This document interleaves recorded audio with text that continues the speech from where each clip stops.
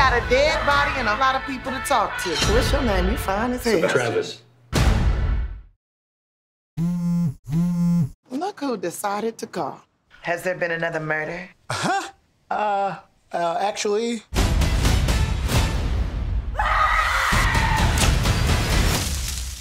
Hit me with that unique rom-com sequel. this is not a sequel. Number one suspect is the bride, Zoe's sister. Grace didn't do it. We got a dead body and a whole lot of people to talk to. What's your name? You fine as hell. Sebastian. Travis. We'd like to hear your accounts of what happened. I like to call them your mind movies. She was all trouble. And for the record, the case wasn't the only thing that was hard. Oh, God. Everyone here had a motive. I have many tales to tell. Actually, maybe they just start from the beginning of, of the wedding. I'm a searcher. okay. Edgar is a crumb, and Grace knows that I'm What's that? pretty handy with a broom. That was a broom. That's how I can tell you've never swept before. It's like a lightsaber.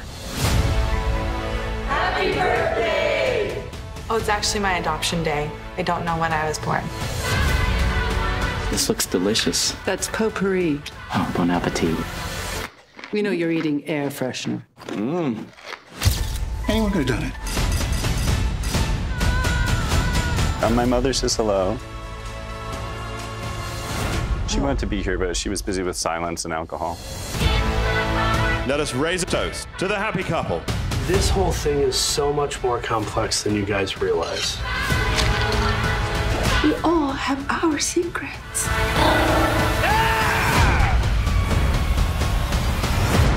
Well, I think it's pretty clear. That's We've got not our our guy. guy. What did you say? You got or not? Not. What? Well, I know who killed Edgar.